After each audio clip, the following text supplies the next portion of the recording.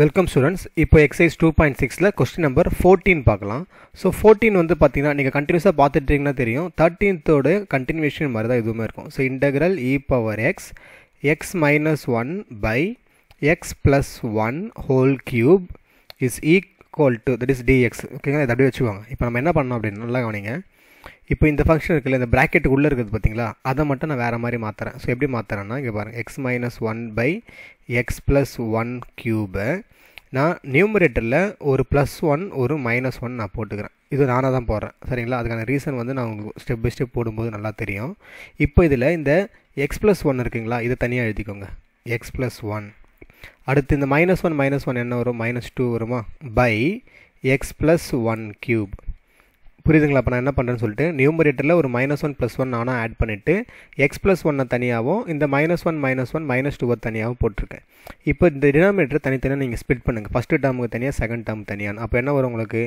X plus one by x plus one the whole cube அதே மாதிரி minus two by x plus one the whole cube நான் தனித்தனியாக போட்டிருக்கேன். இப்போ இது என்ன நடக்கும் பார்த்தீங்கன்னா இது ஒரு எக்ஸ் ப்ளஸ் ஒன் கேன்சல் ஆகிடுச்சுன்னா உங்களுக்கு remaining one by x plus one square மட்டும் கிடைக்கும். இது வந்து நீங்கள் அப்படியே வச்சுக்கோங்க. இப்போ literally you compare this with the previous question இதை டிஃப்ரென்ஷியேட் பண்ணால் இது வருமா? ஸோ ஆட்டோமேட்டிக்காக திஸ் இஸ் இந்த form of f of x plus f dash of x அப்படி தானே அப்படி நீங்கள் என்ன பண்ண இந்த கொஸ்டினில் let f of x is equals to இந்த ஃபஸ்ட்டு இது one by x plus one square இதை நீங்கள் டிஃப்ரென்ஷியேட் பண்ணிங்கன்னா உங்களுக்கு இது வரும் ஆட்டோமேட்டிக்காக minus two by x plus one cube வரும். அப்படி தான் நம்ம போன சம்மில் பார்த்தோம்ல ஒன் பை எக்ஸ் ஸ்கொயர் நீங்கள் டிஃப்ரென்ஷியேட் பண்ணால் என்ன கிடச்சிது? Minus two by x cube கிடச்சிது. ஒன்லி டிஃப்ரென்ஸ் அங்கே எக்ஸ் இருந்தது இங்கே எக்ஸ் ப்ளஸ் ஒன் இருக்குது அவ்வளோதான் சரிங்களா? இப்போ இது அப்படியே அங்கே இ e பவர் எக்ஸில் உள்ளே எழுதிடுங்க ஸோ எப்படி எழுதலாம். இன்டகிரல் இ பவர் எக்ஸ் இந்த ஃபங்க்ஷன் என்ன எழுதணும் நம்ம? F of x plus f dash of x dx இப்போ இதுக்கான ரூல் என்னது நமக்கு? வெறும் e power x f of x plus c மட்டும் போட்டால் போதும். எஃப் ஆஃப் எக்ஸுக்கு இதை சப்ஸ்டியூட் பண்ணி விட்டுருங்க. So e power x by x plus one square plus c அவ்வளோதான் எவ்வளோ சிம்பிளாக முடிஞ்சு பார்த்தீங்களா ஸோ போட கொஷினில் கொஷின்லேயே வந்து இந்த ஃபார்மெட்டில் இருந்தது.